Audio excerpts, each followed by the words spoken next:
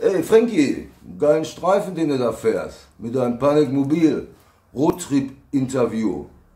Gut dabei, Feuer frei. Allzeit gute Fahrt, ne? Wir sehen uns ja ganz bald. Ja. So. Dein Udo.